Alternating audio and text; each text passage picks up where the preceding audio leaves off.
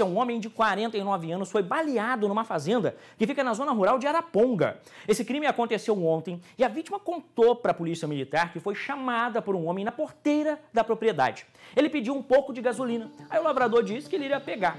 Ao dar as costas, gente, olha o que aconteceu. Assim que ele deu as costas para ir buscar a gasolina, o homem que estava na porteira sacou uma arma e começou a atirar. A vítima correu em direção à casa da fazenda para poder se esconder, mas foi atingido quatro vezes nas costas. Aí, durante a fuga, ele conseguiu ver outro suspeito que estava esperando o atirador numa moto. Olha isso! Os dois fugiram em direção ao lugarejo de Grama, que fica em Ervalha, município ali perto de Araponga. A vítima afirmou que não sabe a motivação do crime e que não tem desentendimento com ninguém.